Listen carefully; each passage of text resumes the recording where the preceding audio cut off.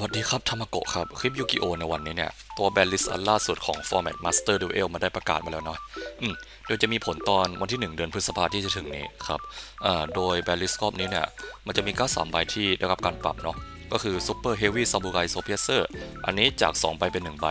แล้วก็ Snake Eye Ash กับ Wanted Seeker of Sinful Spoil 2ใบนี้เนี่ย จาก 3 ใบเป็น 2 ใบเนาะอืมซึ่งเป็น banlist ที่ค่อนข้างเล็ก แต่ว่ามันก็โอเคตรงที่ว่ามันไปยิงไอ้การ์ดที่มันควรจะโดนนะเนาะเอ่อก็ถือว่าค่อนข้างดีครับสำหรับไอ้ตัว Master Duel รอบนี้อืมโดยไอ้การ์ดของ Snake Eye เนี่ยเออมันก็เป็นการ์ดที่ถือว่าลัด patch มาเนาะสำหรับไอ้ตัวเอ่อ Format Master Duel จริง ๆ แล้วเนี่ย มันเป็นการ์ดที่ควรจะมาพร้อมกับไอ้ของเสริมเอ่อตัว deck อะไรนะ Rescue Ace อย่างไอตัว Emergency กับ Preventer อะเออมันควรจะมาพร้อมกัน แต่ว่า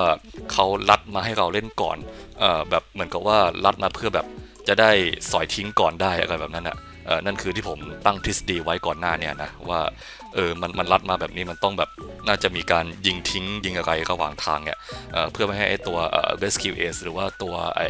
อะไรนะ Fire King ในอนาคตเนี่ยมันมัน full power เนาะอืมประมาณนั้นครับ อืมก็ถือว่าโอเคดีที่ปรับไอ้สองตัวนี้ เดี๋ยวใน banlist ต่อไปเนี่ย คิดว่าตัว Seeker ใบเนี่ย น่าจะเหลือ 1 ใบตาม OCG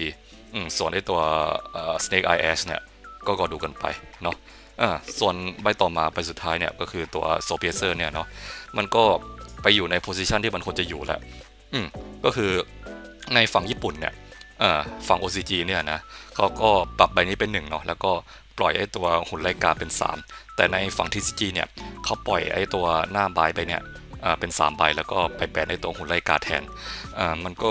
ต่างโซนต่าง banlist นะวิธีจัดการ banlist มันก็ต่างกันอืมแต่ทั้งสองฝั่งเนี่ยให้ผลที่เหมือนกันก็คือทำให้ตัวประชากรของไอ้อันนี้ลดลงเนาะไอ้ตัวไอ้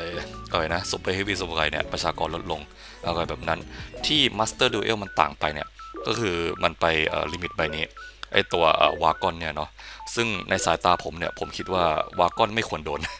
เออคิดว่าใน banlist ต่อไปของ Master Duel เนี่ยนะ น่าจะปรับ Wagon เป็น 3 ได้ คิดว่านะ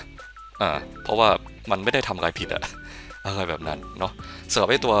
Super Heavy Samurai เนี่ย มันไม่ต้องไปยุ่งอะไรกับไอตัวการ์ดที่มันติดชื่อ Super Heavy ละอ่าที่ควรปรับอะคือไอสองใบนี้ไอ Calamity กับไอตัวเอ่อ Crimson Dragon อืม ก็ถ้าไม่แบน Calamity เนี่ย ก็ไปแบน Crimson Dragon อืมส่วนตัวผมเชียร์ให้แบนไอตัว Crimson Dragon เนี่ยนะ เพราะว่าผมไม่ชอบหน้ามันมากเออแล้วก็ถ้าเกิดว่ามันแบน Calamity เนี่ย ไอตัว deck Red Demon ที่ผมเล่นมันมันโดนผลกระทบไปด้วย นั่นแหละครับ อืม ก็นั่นคือ banlist ในรอบนี้เนาะ ถือว่าถือว่าโอเคดีครับ ก็รอดูรอบต่อไปว่าเขาจะลดไอพวกนี้เพิ่มไหม แต่ส่วนตัวคิดว่าลดแหละ อืม คิดว่าน่าจะลดเพิ่มอีกแน่ๆ เนาะก็รอดูกันครับว่ามันจะเป็นอะไรยังไงคลิปนี้ก็ประมาณนี้เจอกันคลิปหน้าเนาะสวัสดีครับ